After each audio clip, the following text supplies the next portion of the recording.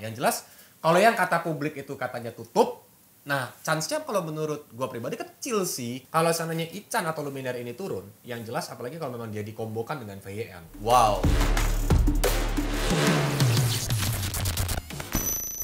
Welcome to Esport Breakout episode 15 Dan balik lagi sama gue Pepau yang kali ini ada bintang tamu yang gak bosan-bosan datang ke sini Udah dua kali ada Kolius di sana Halo semuanya, halo. Dan di tengah-tengah siapa ya? Asik Ada co-host Ada ya. co-host ya kali Jadi kali ini saya nggak magang sendiri Ada yang magang baru ya Ada yang nemenin? Ya Ada Firman di sebelah Halo saya Firman. Kenapa nggak semangat gitu sih? Halo Firman. Nah, gitu dong, harus semangat perkenalan Oke dulu. oke oke. Koles nih kayaknya udah gak bosan-bosan ya kita ketemu. Udah dua kali ya? Alhamdulillah, masih Alhamdulillah. dipercaya untuk datang kan, untuk ngobrol-ngobrol. Bener Seru dong kedua kali ya? Iya, Seru kedua ya? kalinya ini. Ini berarti podcast pertama tuh kalau misalkan kalian penasaran ngomongin apa, ada nih dicari di kontennya eSport Breakout ya. Atau di di kolom eSport. komentar, eh di deskripsi biasanya. Iya, di bisa deskripsi juga ada biasanya. Kema waktu itu kita lagi gencar-gencarnya ngomongin soal oh penonton di MPL ya. Oh, komunitas waktu itu. Komunitas. Ya, lebih ke Terus komunitas. regular season ya waktu itu. Nah, ya? iya lagi regular season. Kalau kali ini beda. Nah ini, Beda banget bahannya. Lebih rancu lagi, lebih Eh, dulu, jurang lagi. lebih jurang lagi. dulu. Lebih jurang lagi. Coba lebih bahaya tar dulu, lagi. tar dulu. Sedikit sedikit. Kolius itu guest pertama yang dua kali datang ke sini. Iya. Ya, Amin dua nanti kali, sampai yang. 100, amin. Bisa tiga kali, empat kali, lima kali, nanti Amin. kita lihat nanti ya. Nanti Amin. ketiga kalinya Kolius lagi yang pertama. Oh siap. Yang keempat kali Kolius lagi yang pertama. Siap. Jadi nanti eh, apa ya brand ambassador dari Kincir Waduh. Esport Bentar lagi Breakout. berarti jadi co-host ketiga. Kelas ketiga. Jadi co-host ya? Bintang tamunya nggak tahu di mana duduknya. Udah masuk frame lagi. Oke, lanjut balik ke jurang. Nggak usah lah ya. Aduh balik ke jurang ya. Udah kita terusin bareng-bareng aja bertiga yuk. Karena udah ketahuan banget nih kayak mau penonton. Nih Kolius kan lagi booming nih. Booming. Booming, gencar. Eh, apa lagi? Trending topik semuanya lah. Lagi, Lagi ramai, panas-panasnya juga nih di perbincangan. Tahu kan yang game Riot yang lagi nonton eh no, Gugat, lagi menggugat. menggugat Munton. Apalagi kan kalau misalkan kita lihat banyak banget netizen-netizen yang pro dan kontra loh tentang game Riot ini yaitu League of Legends Wild Rift yang lagi menggugat ke Munton. Gimana sih tanggapannya Kolius tentang hal tersebut? Oke. Em, sebelumnya untuk Nggak mau. istriku di rumah setelah ini kalau saya nggak dapat panggilan lagi amit-amit ya enggak enggak bercanda.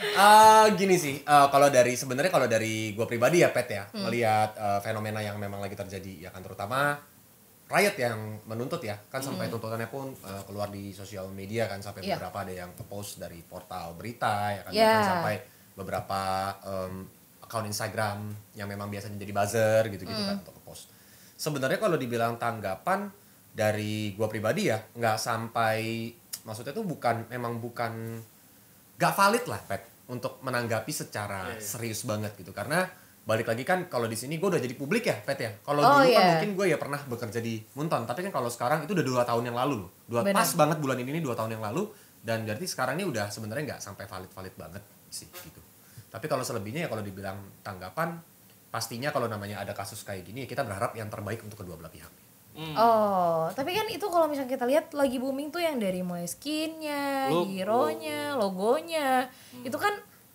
sangat identik, hampir mirip deh, hampir mirip aja, jangan sangat identik, hampir mirip banget. Jadi menurut Kolius sendiri, ini tuh merupakan suatu plagi plagiarisme atau enggak kalau dari pandangannya Kolius? Oke. Atau emang kayak Muntonnya ide. Itu kan dalam jangka waktu yang enggak enggak sebentar ya. Bukannya kayak Riot mengeluarkan brand itu. Misalkan logo nih. Logo dikeluarin dia tuh kalau nggak salah September 2020 dan Munton itu mengganti logo Mobile Legends itu setahun kemudian gitu. Enggak dalam jangka waktu yang dekat. Menurut kalian sendiri itu plagiarisme atau enggak Oke, kalau kita melihat dari eh, file tuntutannya, itu kan ada beberapa eh, gambar yang dikeluarkan. iya benar. Gambar ada beberapa gambar. kemiripan eh, pertama dari aset mungkin hero-nya ya, bentuk Iya. eh, intinya sih bentuk ya, kayak Bentuk. orang, Bentuk, warna, Warna. Kivinya lah, kivinya. ya KV-nya ya kan, belum juga yang eh, bisa dibilang how Munton do the marketing, ya kan kayak misalnya dari posternya apa segala, terus trailernya itu kan semua sempat dibahas sama si Riot. Jujur balik lagi ya sebenarnya ya eh, di sini dari gua pribadi mungkin bukan ahlinya untuk menilai ya kan kayak bisa dibilang ini mirip atau enggak. Jadi di sini sekali lagi jawabanku mungkin sebagai mata netizen aja nih ya kan, mata publik ya. Aman terus, teman-teman. nggak apa-apa. Jadi em, gini, kalau yang namanya juga genrenya mungkin kan sama, MOBA. Iya. ya kan? Iya, Bahkan bener. kalau seandainya kita melihat untuk beberapa judul game yang lain, MOBA judul game yang lain, let's say uh, yang terkenal di negara China King of Glory atau Oh, iya. kayak misalnya zaman PC, masih zaman MOBA-nya PC itu ada LOL, ada Dota Dota, 2 dan 2. bahkan dari zaman Dotanya Frozen Throne ya.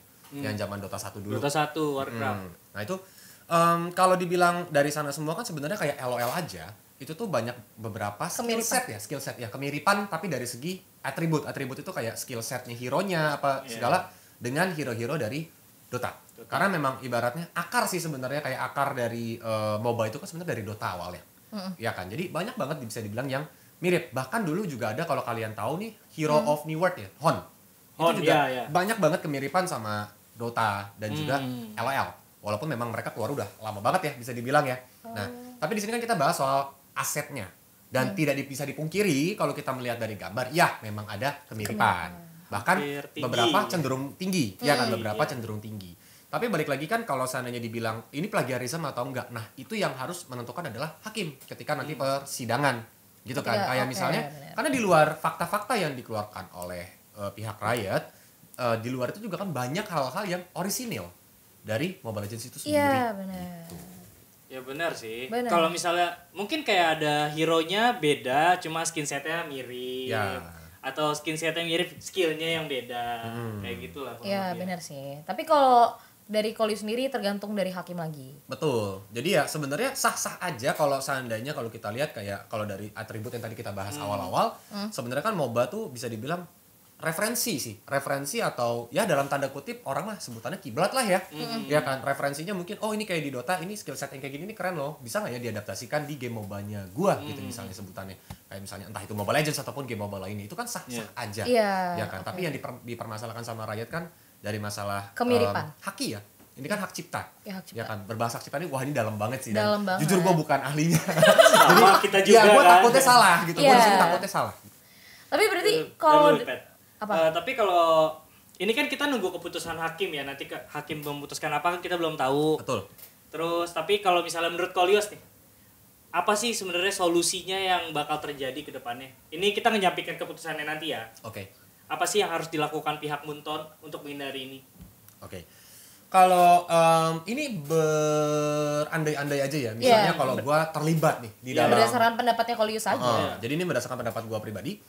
Kalau yang kita lihat sebenarnya yang pertama ya jelas ini kan dari pihak rakyat merasa dirugikan ya teman-teman. Iya, Jadi kan karena ada banyak banget hak ciptanya atau memang eh, bisa dibilang IP-nya ya kan intellectual property yang milik rakyat itu di copy sama Munton katanya. Mm, benar. Jadi ya mau nggak mau rakyat meng- eh, menggugat pihak si Munton. Dan ke depannya ya kalau memang eh, terbukti jika jika terbukti Muntonnya bersalah kan impactnya tuh harus banyak banget nih. Ya Perubahan. kan maksudnya perubahan kah atau memang harus membayar denda kah? Kita nggak tahu hasil putusan has- hakimnya seperti apa. Yang jelas kalau yang kata publik itu katanya tutup, nah chance-nya kalau menurut gua pribadi kecil sih kalau tutup itu. Karena Iya. gini, kalau yang namanya ditutup itu kan dibangkrutkan ya. Kecuali memang Munton punya hutang yang memang besar ya kan ke company dan dia nggak bisa bayar, ya harus pilot. Itu kan beda cerita. Iya, kalau iya, itu kita iya. ngomong kasus perdata ya. Dan gua nggak ahli sekali lagi, gua nggak ahli di sini. gua takutnya diplesetin sama netizen. Tapi kalau dibilang untuk menghindari hal seperti ini, ya mungkin tim R&D-nya harus diperkuat. Tim R&D dari Muntun, research and development, di mana nantinya dia harus meresearch dulu ketika memang adanya skin ataupun hero yang ingin dikeluarkan ataupun marketing plan yang akan dikeluarkan oleh pihak Munton ya otomatis harus diteliti terlebih dahulu. Apakah Ya. memang udah ada nih developer atau publisher lain yang mengeluarkan hal yang mirip atau serupa. Jangan nanti dibuat ke, ke depannya jadi bahan malah buat menyerang si pihak Munton lagi. Gugatan part Oh. 3. Ya, takutnya kan gitu. Gugatan Iya benar. tiga. Tapi kalau dari Kolius sendiri, sebenarnya gugatan ini harus nggak dilakukan sama pihaknya Riot Games ke Munton? Ini kan udah kedua kalinya nih. Harus nggak sih sebenarnya gugatan dilakukan? Atau Hmm. sebenarnya nggak harus nggak harus dilakukan gugatan bisa dilakukan secara kekeluargaan?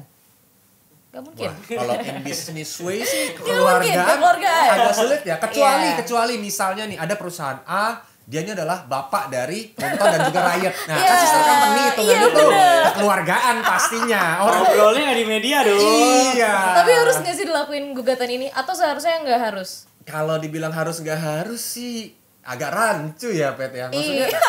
eh, ini melawan hati nurani gitu maksudnya Iya benar. Eh, di satu sisi jujur gue sebagai kalau sekarang kan sebagai talent ya Hmm. sebagai influencer iya sebagai talent caster iya gue juga besar namanya di Mobile Legends Bang Bang Iya, gitu kan jadi kalau dibilang eh, nggak harus juga ya ada beberapa kalau berdasarkan fakta ya ini kita lihat maksudnya yang yang yang digugat aja Hmm. Iya. yang keluar ya memang bisa dibilang itu mirip Dari gitu kan. data-data itu Iya, berarti tapi- 50 50 ya. Betul, jadi gue nggak bisa jawab kayak ini harus apa enggak harus sih, bingung juga gitu jawabnya. Berat, Bingung emang juga gitu, iya. Kalau sih lagi ngedor ngedorong Kolius ke Iya, jurang. ini kayak gue jalan seutas rambut loh, bawa gue jurang. kita coba dulu, kita coba. Ternyata Iya. harus hati-hati guys. Nih, Ko- Kolius, kan karena kasus ini ya banyak banget netizen dari pihak MLBB maupun dari Riot Games, Wild Rift terutama yang saling serang nih di Play Store. Udah Iya. lihat udah, udah tahu juga. perang rating. Bintang satu tidak ramah. Terjun payung lo ratingnya. menurut lu gimana sih Rit? pendapat lu tentang si ini bisa disebut komunitas gamenya salah sa- kedua belah pihak saling serang menurut lu gimana? Oke. Em, jujur ya, gue pribadi nih nyemplung di e-sports kan udah bisa dibilang cukup lama lah ya. 20 tahun lah. Buset, tua enggak gua. E-sports Indonesia kayaknya gak setua itu ya untuk umur berkembang segede gini ya. Tapi maksudnya dari gua pribadi beserta teman-teman yang lainnya juga baik yang di depan layar maupun yang di belakang layar jujur gedein e-sports di Indonesia gak gampang loh teman-teman. Iya, Kita penuh dengan keringat bahkan ada yang berdarah-darah gitu loh untuk bikin akhirnya e-sports ini menjadi industri yang diakui oleh pemerintah dan menjadi industri yang bisa jadi masa depan kalian semua. Tuh, benar. Ya kan, jadi ketika hal ini terjadi nih teman-teman gitu, eh, sangat amat disayangkan gitu loh. Bahkan kalau gue boleh ngomong kasar, is it fun to war like that gitu loh, untuk lu berantem kayak gitu untuk ngasih saling rating bintang satu, cuman gara-gara kasus gugatan ini, untungnya apa sih, senangnya apa sih gitu. Jadi eh, daripada malah nanti ngerusak ya makin merusak, dianggap dicap bahwa community kita ini udah terlalu rusak, udah terlalu toxic it's better kayak ya udah ini kan uh, developer versus developer ya ya udah ini juga kasus perdata yang di mana paling cepat aja nih prediksi gue satu tahun loh kelarnya ini bakal lama banget ini bakal panjang banget karena perdata tuh biasanya makan waktu tahunan dan makan duit yang nggak sedikit gitu loh jadi ya udah biarin aja developernya yang ini gitu loh ya kita cuman bisa mendoakan semoga mendapatkan hasil yang terbaik untuk kedua belah pihak gitu kan Dan mendukung perkembangan dari game itu gak sih? Ya. Jadi kita nggak bisa kayak kalau menghujat kan berarti kita menurunkan perkembangan dari game itu sama tadi kayak kalau yang Betul. bilang gitu. Padahal kalau seandainya kita lihat in positive ways ya, Iya. eh, gini, dari pihaknya eh, kalau misalnya kita ngomongin soal Mobile Legends ya kan, ketika misalnya nanti ini kalau gue sebagai publik ya, Iya. melihat Riot atau memang LOL Wild Rift ini berkembang, otomatis Mobile Legends juga bakal ikut berkembang. Karena Iya. kenapa? Dia jadi ada bahan untuk Oke, dia udah sebesar ini. but Gimana caranya biar kita lebih besar Harus lagi? improve lagi, Betul. lagi. Ada Begitu juga sebaliknya. Wild Rift melihat dia masuk ke pasar yang di mana kalau di sosis Asia ini udah dikuasain sama Mobile Legends Bang Bang ya teman-teman ya. Dan challenge Wild Rift adalah gimana caranya gue bisa ngejer ya kan si Mobile Legends Bang Bang ini. Jadinya kalau memang terjadi persaingan sehat antara kedua developer ini, otomatis kita sebagai uh, penikmat esports justru bakal makin seneng karena kualitas yang dikasih ke kita semua jelas bakal lebih jauh lebih naik. Nah, gitu. itu itu yang hal positif ya. Iya, Jadi kalau kalian gak suka ya udah nggak suka aja nggak usah ngata-ngatain. Iya. Gak usah ngasih rating Nggak satu usah- juga. iya. Udah santai aja santai, cukup main aja guys. Iya, Main santai gitu pelan-pelan. Gak De- usah lah rating setting satu gitu. Cuma kayak gue lihat sih kayak di Play Store Mobile Legends kan itu juga ada serangan juga dari pihak itu. Menurut gua ya mereka emang merespon dari serangannya pihak Mobile Legends ke Riot tuh Ya. di Play Store. Cuma menurut gue itu juga tetap gak perlu lah ya. Betul. Nah yang serang kayak gitu, aduh. makanya gue bilang kayak yuk grow up yuk gitu. Maksudnya eh, ya udah yang udah terjadi terjadilah gitu. Iya. bahkan kan rating bisa diubah ya. Untuk teman-teman mungkin yang setelah nonton podcast ini baru mulai sadar bahwa ada loh impact positifnya dengan kejadian yang sedang terjadi saat ini gitu loh. Ya udah gitu. Maksudnya ya kasihlah rating sesuai sama penilaian jujur kalian gitu kan. Maksudnya ya kalau memang menurut kalian gamenya bagus sih kenapa nggak kasih bintang 5 gitu kan. Iya. justru makanya gue bilang pribadi walaupun eh, di sini gue bergerak sebagai talentnya Mobile Legends Bang Bang gitu yang jelas gue sangat berharap Mobile Legends Bang Bang terus berkembang tapi kalau gue melihat Wild Rift berkembang gue juga bakal ikut seneng karena Iya, kenapa bener. ya berarti nantinya bakal terjadi persaingan yang sehat gitu Dan dua game itu merupakan salah satu apa ya game divisi e-sport di Indonesia. Kita kan mendukung perkembangan e-sport kan. Berarti Betul. kita harus mendukung semua game yang Betul. lagi dikembangkan sama developernya masing-masing. Kalau misalkan menurut eh, kalau sendiri nih, ini pertanyaan pribadi aja. Ketika mereka sama-sama adu mekanik nih di kolom komentar antara kedua game ini. Adu mekanik ya kan bahasanya guys ya kan di dua komentar ini. Ada nggak sih impact ke masyarakat yang nggak tahu e-sport sama sekali? Dan mereka ngelihat nih wah ini kayak misalkan teman gue atau anak gue atau kakak gue atau orang tua gue main game ini gue pengen download. Eh gue baca-baca nih di komentar-komentar kok kayak gini? Apa gue nggak jadi download ya? Ada nggak sih kayak menurut kalian sendiri tentang menulis impact ke masyarakat yang nggak tahu? Maksudnya kan e-sport kan nggak semuanya langsung menuju ke sepanjang Nusantara kan ada beberapa orang yang nggak tahu juga ketika ngelihat ratingan komentar gimana menurut Kolius Oke, kalau dibilang impact ada pasti ada. Karena pastinya ada beberapa jumlah orang yang memang jika ingin mendownload game, maka dia akan melihat ratingnya terlebih dahulu. lihat review Betul dong, lihat review, lihat rating. Tapi sebenarnya ketika dia melihat, kan kadang orang, eh, apalagi untuk negara Indonesia sendiri, kalau gue boleh stereotyping, literasinya kan rendah. ya. Oh Betul dong, mereka dibilang. Harus baca ya. Jadi Iya. kayak jarang banget orang yang mau sampai kayak lihat, oke ini rating gamenya kecil. Kenapa rating gamenya kecil? Dia sampai baca-baca satu-satu komentar itu jarang. Jarang. Ada tapi jarang gitu loh. Jarang sekali. Jadi eh, bisa aja ada impact yang di mana ketika dia mau be- bener-bener baru banget untuk cobain, eh MOBA ya kan, eh ada Wild Rift. Wild Rift ini apa ya gitu. Dia nggak tahu ketika lihat ratingnya bisa aja dia nggak jadi install tuh bisa aja. Gitu. Tapi kalau ditanya impactnya besar atau enggak, nah itu yang gue nggak nggak tahu. Karena harus kalau gitu kan harus research ya. Iya, Lebih tepatnya benar. harus pakai Data. data, yang akurat gitu. tapi kalau gue sih gue pasti yang tipe yang baca dulu sih. Kalau lo soalnya aneh Wild Rift bisa rating segitu sedangkan gamenya bisa dikenal di dunia udah bagus. Oh. Cuma gue pasti baca dulu lah kenapa? Kalau gue nggak tahu kasus ini ya. Ya sebagai orang awam ya. Sebagai berarti orang lo pengen awam kalau gue bukan di dunia e-sport gue bakal baca dulu kenapa. Karena Riot itu namanya segede itu di luar. Berarti cukup memberikan impact yang besar juga ya sebenarnya? Bisa jadi. Bisa jadi. kalau di Indonesia mungkin. Di Indonesia mungkin. Karena kan kalau misalnya kita ngelihat game yang berkembang di sini kan kayak banyak banget yang game apa ya ber apa sih berkompetitif lah ya. Ada beberapa game yang sama misalkan kita kalau ngomong lagi MOBA kan ada kayak LOL sama Mobile Legend kalau kita ngomong game sebelah ada juga yang FPS sama juga ya kan Hmm. tapi mereka nggak sama-sama menjelekan juga kan menurut Kolius gitu dan Iya, iya. gue sekarang nggak mau masukin jurang siapa-siapa guys di antara mereka berdua eh tenang gue main aman oke so so tenang aja tapi di Kolius nih kalau misalnya dari kasus ini kita lihat eh, ini bakal berpengaruh nggak sih ke scene kom- kompetitifnya nanti Scene Nah, itu dia yang berat juga. Oke, kalau dibilang pengaruh ke scene kompetitifnya dalam waktu dekat harusnya enggak. Karena balik lagi kan ini kita harus melihat hasil persidangannya lagi. Benar dong? Ya, benar. Hasilnya seperti apa, apa yang mungkin harus diubah kah atau gimana, kita nggak tahu nanti gimana. Tapi kalau dibilang dalam jangka panjang, sepengetahuan gue pribadi aja ya, correct me if I'm wrong gitu. Namanya hasil seperti ini kan otomatis, misalnya nih jika terjadi, ini contoh doang, misalnya Mobile Legends tuh kalah dari persidangan. Terus kayak ada yang harus diubah mulai dari skill setnya apa gimana. Jelas berpengaruh ke kompetitif. Karena kenapa? Orang yang sudah terbiasa, apalagi memang hero tersebut lagi meta, bayangin tiba-tiba di revamp dengan eh, skill set yang beda semua, desain yang beda semua. Itu timing bakal hilang semua gitu Iya, kan. kalau nggak yang biasanya kotak jadi segitiga iya, itu kan bakal mempengaruhi. gitu. Iya, Jadi iya. jelas lah. Tapi kalau dibilang per, eh, jalannya itu kan balik lagi game yang tadi Iya, gua iya. bahas ya. Tapi kalau jalannya schedule apa segala, gua rasa gak bakal ada masalah. Karena balik lagi ini yang kena adalah masalah haki atau hak cipta atau kalau memang bahasa Inggris tuh IP ya, IP, IP. intellectual properties. Jadi kayak sebenarnya harusnya sih nggak bakal ada masalah karena yang dituntut juga bukan MPL tapi Mobile Legends kan. MPL tuh kan di, eh, Hmm. liganya. Iya, liganya, liga skala nasionalnya. Tapi berarti kalau misalkan kita baca di kolom komentar banyak yang berkomen kayak gitu, berarti ada dong yang namanya komunitas toxic menurut Kolius. Kalau menurut Kolius komunitas toxic Mobile Legends saya deh kita bahas karena kan Kolius stylenya Mobile Legends dulu kan.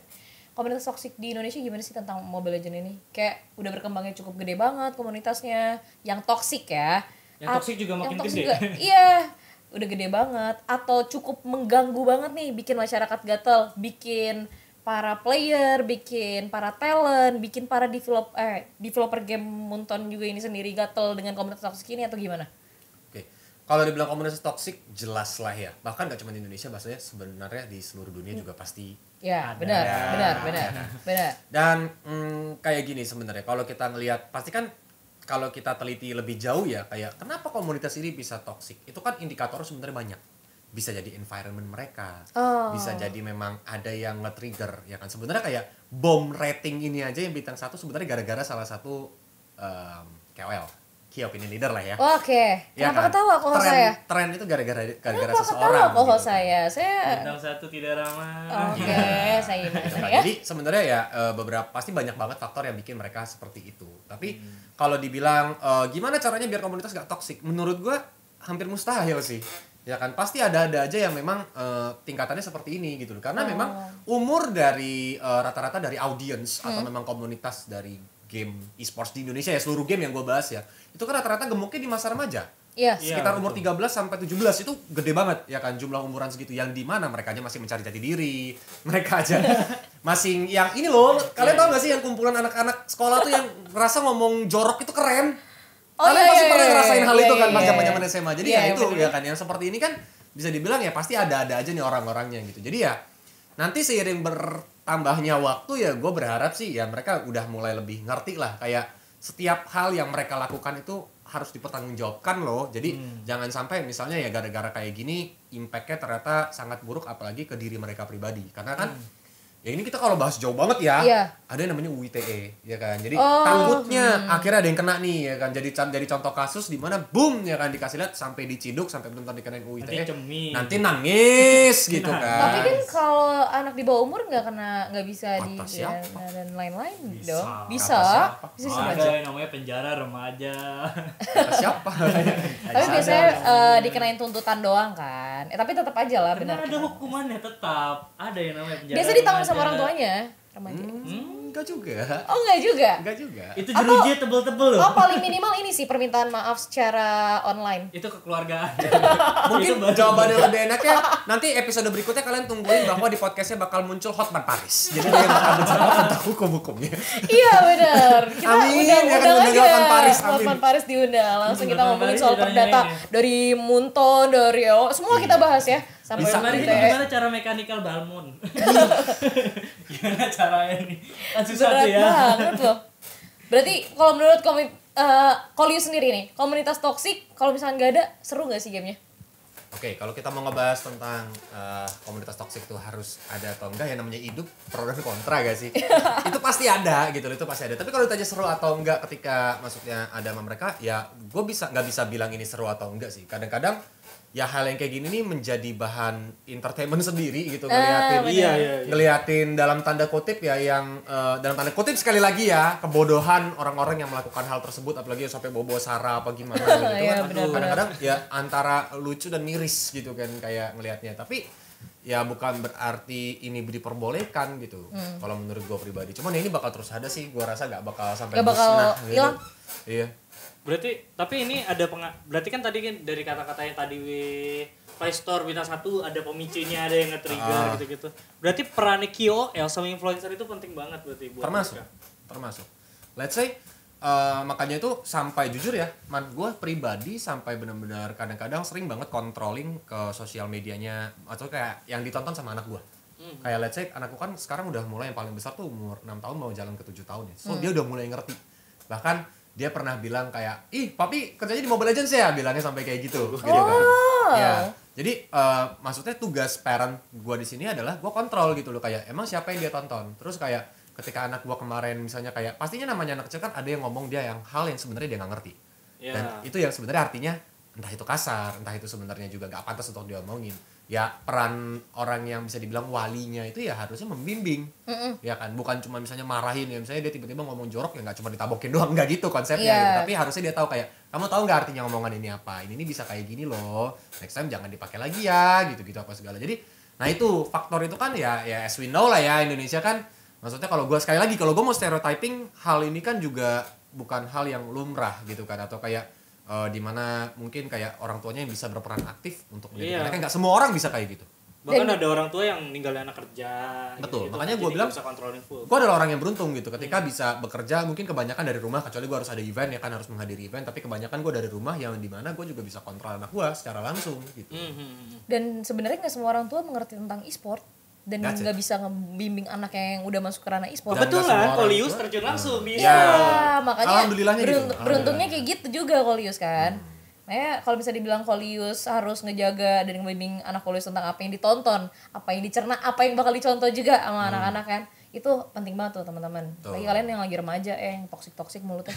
karena kan kebanyakan Oh, oh. influencer-influencer ini kan jadi role model ya ya, Iya, bisa benar. dibilang eh gue mau dong jago kayak MVP M1 kita Aura gitu itu kan kayak gitu-gitu kan Iya, gitu iya. jadi makanya ya mm, sebagai remajanya juga nih buat para penonton yang mungkin yang udah nonton. Ini aja udah termasuk orang yang hebat ya sampai nonton detik ini ya. Ini kan topik kita agak berat ya sebenarnya Iya, ya. Sebenarnya. berat banget. Ya, makanya buat teman-teman semuanya juga mungkin eh, kita nggak bisa ngelarang mereka lah untuk mengidolakan siapa pun. Mm-mm. Tapi yang bisa kita ingatkan ya kan sekedar mengingatkan bahwa ya bijak-bijak lah ya kan eh, meniru apa yang dilakukan sama idola kalian karena yang namanya manusia pasti tidak luput dengan kesalahan. Nah, Betul. Iya. Dan ingat ada yang namanya undang-undang ITE. Hmm, jadi jangan sampai nanti kalau udah kecemplung bahaya. Sekali kalian masuk penjara remaja, CV kalian berantakan pas ngelamar kerja. Hati-hati, kesalahan masa muda berdampak di masa tua. Hati-hati tuh aja. benar. Apa Oke. jejak digital gak bisa dihapus lagi? Iya, jejak digital tuh serem banget, guys. Gak bakal bisa dihapus sampai kita tua juga tetap iya, kelihatan. bakal ada. Iya, udah. Oke Kolius, nah kita sekarang udah kayak udah berat banget ya bahasan kita. Mendingan kita nggak bahas yang lagi booming juga, yang lagi heboh banget di Yang lagi Indonesia. seru ya. Yang lagi seru, lagi apa ya? Lagi bikin penasaran banyak orang karena bakal bermain besok ya. Iya. Timnas Indonesia di SEA Games ya kan. Menurut Kolius sendiri gimana nih? Tanggapan Kolius tentang Timnas Indonesia. Bisa nggak sih bawa medali emas balik ke Indonesia lagi? Gue udah seneng sih sebenarnya ketika ngeliat kemarin Free Fire udah bawa perak dan juga emas ya. Iya, Iya, benar. Jadi di Sapo Bersih sama Free Fire itu udah seneng banget bukti bahwa esports Indonesia tuh masih bisa bersaing di kancah internasional, terutama di ajang SEA Games 2021 Duh, merinding ini.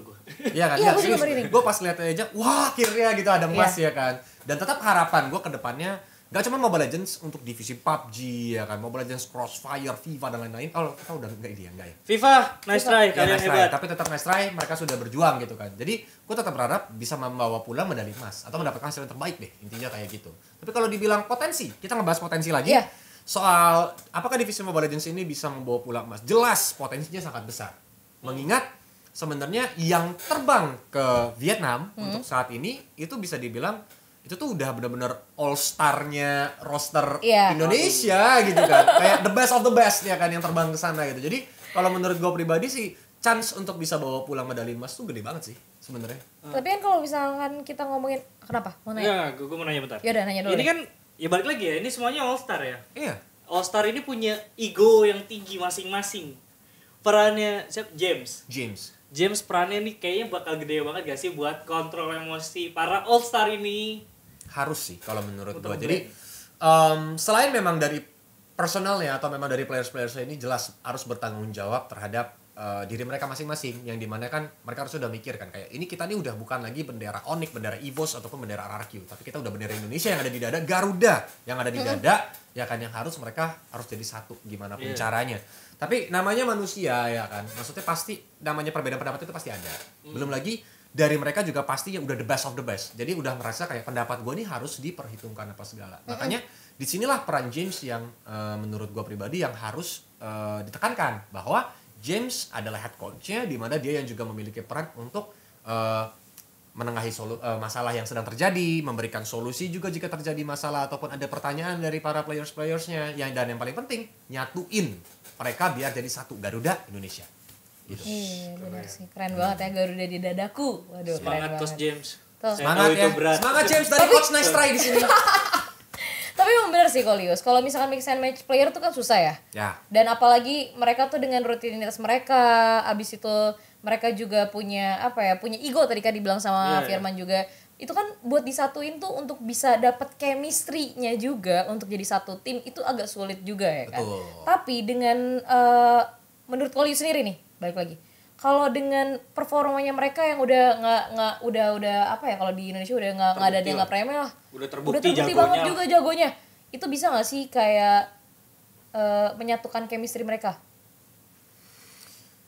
Karena kan rasa pasti yang dipakai lima doang lima Iya. player. Yang di mana itu kan kita nggak tahu siapa aja yang bakal dipakai kan di ranah Tuh, situ. Sampai nanti hari H ya. sampai nanti hari H kita bakal ngeliat langsung. Gimana tuh menurutnya Kolius sendiri Ya kalau menurut gue pasti bisa Buat bisa aja sih. Untuk chemistry itu sendiri mereka dikasih waktu yang lumayan cukup.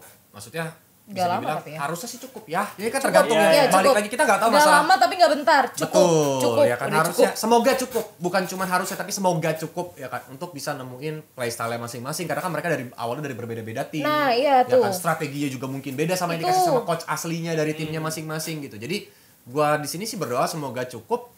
Jadi dari mereka semua tuh bisa menunjukkan potensi maksimal siapa pun yang bakal turun nanti.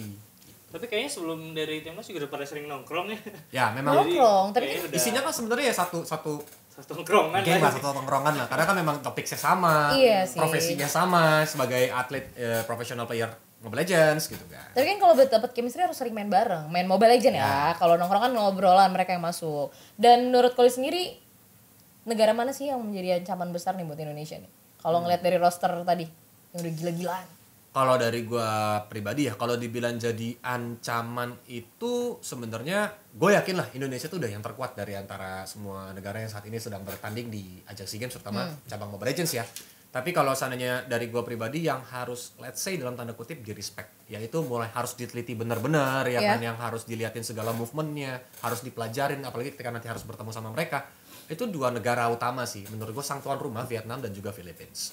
Itu yang harus di respect banget lah kata kasarnya kayak jangan sampai takut tapi lebih kayak respectful preparation untuk menghadapi mereka. Hmm. gitu. Kenapa kalau boleh tahu, Kolis? yang pertama kalau seandainya Philippines seperti yang kita tahu ya bahkan satu tahun ke belakang eh, gelar atau achievement internasional tuh rata-rata diambil sama Philippines. Dipegang mereka ya Ya, jadi eh, bisa dibilang pastinya Philippines punya resepnya sendiri, racikannya sendiri untuk eh, bisa menja kayak memastikan bahwa gelar SEA Games kali ini di tangan mereka lagi. Dan tugas kita lah untuk kayak mematahkan omongan tersebut.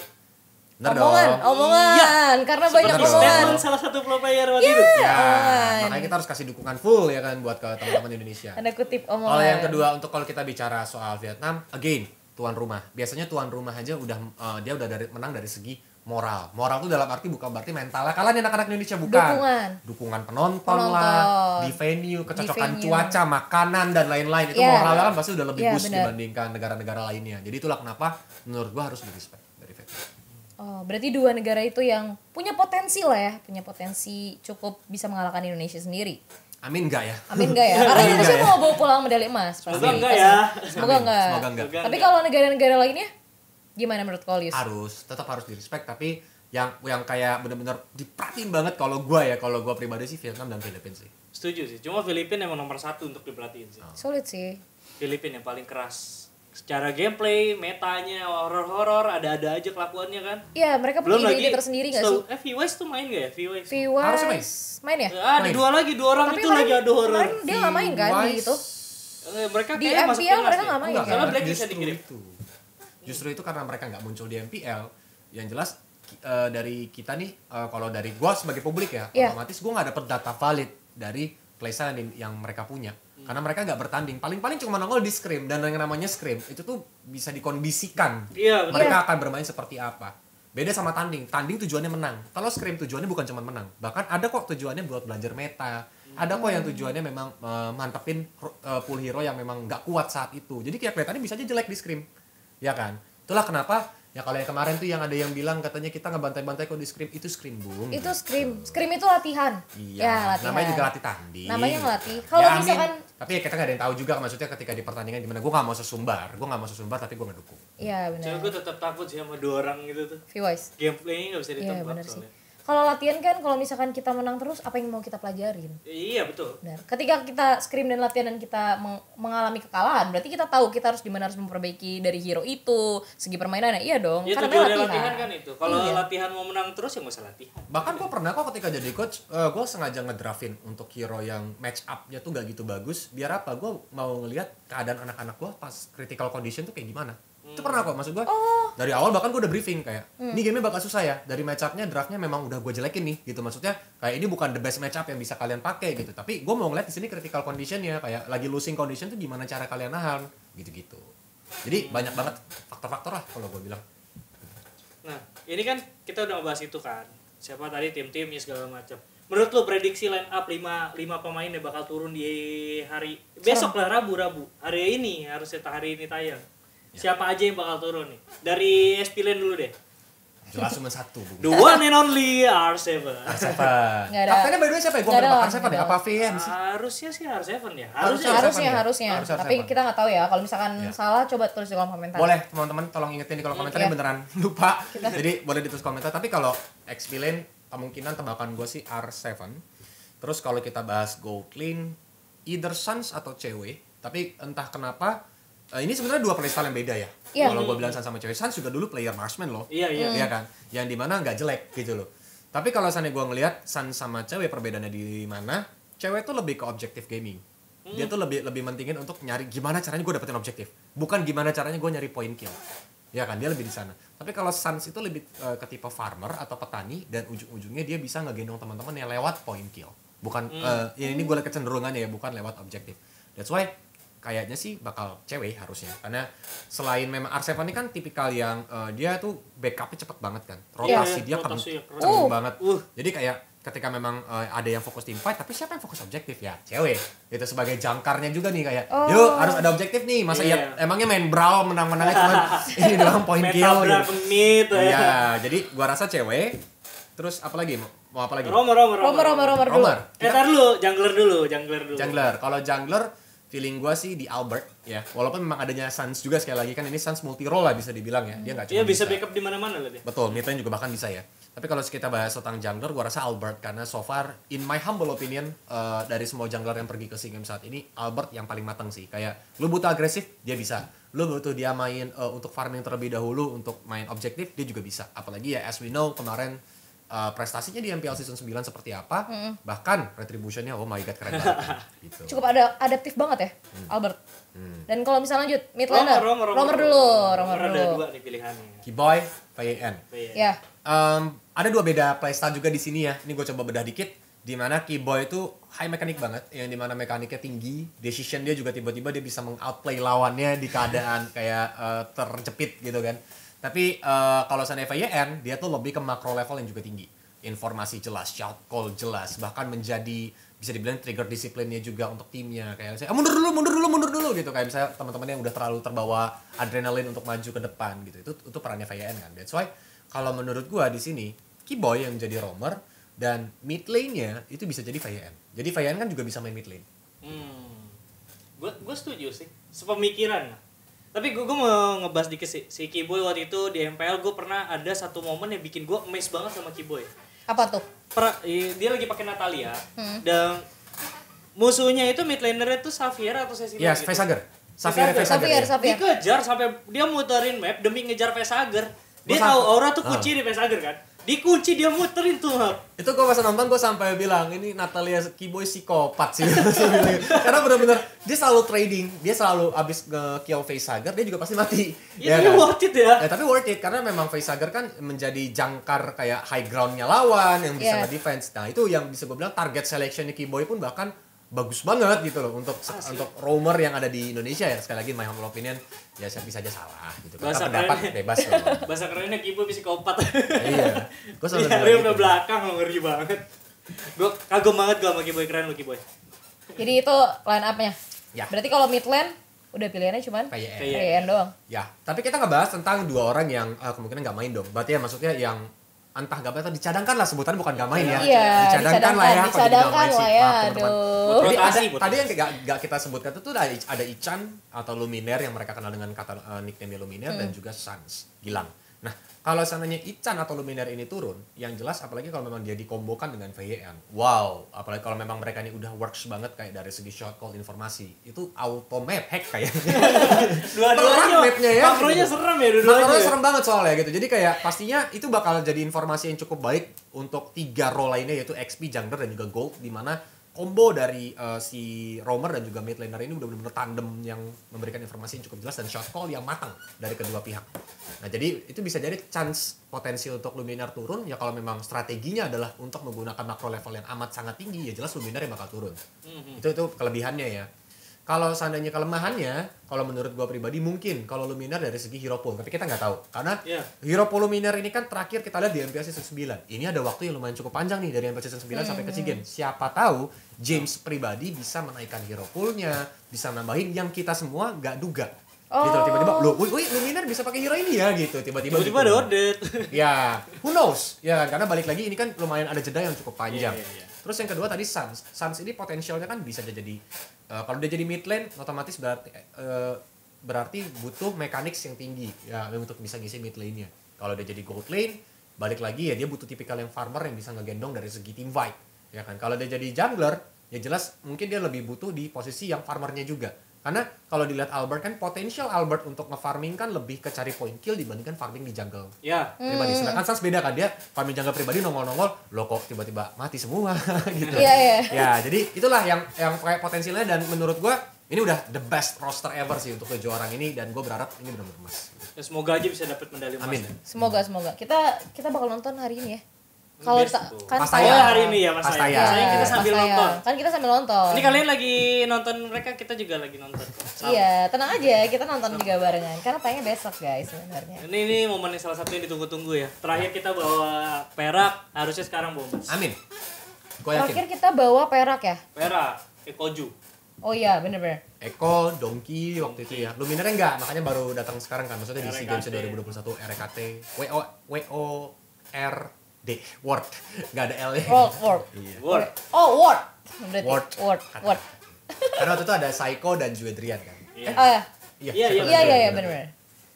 Waduh. Kayaknya segitu dulu podcast hari ini deh, Pet. Eh, nggak usah kalian aja. Gue Gua, gue gua pengen mau podcast sendiri dulu aja. buat persiapan besok, persiapan mental. Enggak, gue sih pengen nonton abis ini. Soalnya gue pengen nonton timnas main. ya kan besok ya kalau DJ. Ah, enggak, gue sekarang, sekarang. Karena kan udah mau tayang sekarang. Mungkin kata-kata terakhir buat penonton ya, kayak eh, jangan sampai toksik, jangan sampai bikin malu negara Indonesia. Tetap dukung Indonesia dengan hal yang positif. Iya, say, bener. ya udah lagi dukung dukung aja tanpa menjatuhkan negara lain. Dan ketika nanti pertandingannya selesai, apa pun hasilnya walaupun amit-amit Indonesia kalah, tetap ucapkan juga GG atau good game buat negara lawannya Iya. nanti. Bener tuh. Habis itu hashtag merah putih. Ayo kita dukung Indonesia jangan jadi penonton yang norak. Tuh. jangan norak, guys. Biar jangan, komunitas toksik, jangan toksik. Mantep lah pokoknya. Jangan toksik. Pokoknya komunitas-komunitas toksik. Cukup doain, tonton, gak usah norak. Udah itu aja. Ya, amin. Amin Ya, mas, kalau amin, gitu amin mas. amin mas dong. Jadi kayak besok Amin, Mas. kita udah seneng gak sih bareng-bareng udah nggak deh. Tuh. Ini bedanya nonton udah lupa nih gugatan rakyat. Tapi teman-teman semua kayaknya udah cukup tadi kan Cukup, kalau cukup, katanya cukup. Firman co-host gue dan thank you banget kalian udah tetap mau nonton kita dari awal sampai akhir yang mesti gak dibilang lama bentar loh. juga ya. Lama. Ini cukup lama ya. Dan kita mohon maaf apabila ada salah-salah kata ya kan dari gue Pepa, Firman sebagai co-host dan bintang tamu yang udah dua kali datang ke sini, Kolius di sebelah sana. Dan jangan lupa kalian bisa mampir ke Instagramnya Kincir Esport atau at isp.id atau Instagramnya dari Kolius sendiri. Yap, ada di atletandre.s. atau Udah, kalau Firman, FS? F Stephen H. Ah, ribet gue gak usah. Iya, Gua baru mau nggak usah. dipromosiin loh. Iya. Gak usah, gak usah, gue gak usah di follow Kan ini guys. viewernya Iya. miliaran loh. God Name Fire TikTok itu gak apa-apa. Kalau Kolius sudah centang biru ya? Iya sisanya nggak ada, nggak ada Ah, gua centang. centangnya. Amin kelihatan. Yusuf, amin Yusuf. Ce- eh, amin. Ya, centangnya yang kelihatan, centang pulpen aja. Jangan lupa kalian juga subscribe, like, dan share YouTube dari Kincir Esport apalagi tontonan yang kali ini karena biar bisa bermanfaat buat masyarakat luas. Walaupun komunitas e-sport juga di Indonesia, jadi kalian bisa tahu apa yang lagi kita ngomongin juga. Dan jangan lupa juga kalian komen di kolom komentar apabila kita ada salah-salah kata. Atau Hmm. Kalau misalkan- misalnya buat minggu depan kalian mau, eh panggil ini dong, panggil Iya ini. bisa di komen di komen kolom komentar atau Kolius ketiga kali dong datang lagi besok Amin. empat kali Mantap. Amin. Kolius lima kali datang gitu bisa ditulis apa pun itu hal yang positif jangan yang negatif jangan yang toksik jangan yang jelek-jelek oke teman-teman semua sama kayak kita bakal dukung timnas Indonesia yang bakal bertarung mempertaruhkan nyawanya asik Yes. kelas banget di SEA Games nantinya so jangan lupa doain mereka juga di luar sana yang lagi berjuang buat Indonesia apalagi udah Sama yang lagi berjuang buat dapetin hati si dia. Ya. Aku nggak tahu kalau kayak gini aku pamit undur diri sebagai hostnya. Pepo di sini. Eh, Pamit dulu guys. Thank Kolius you. juga, thank you so much. Sampai jumpa di Lain podcast kesempatan. berikutnya. Bye-bye. Bye-bye.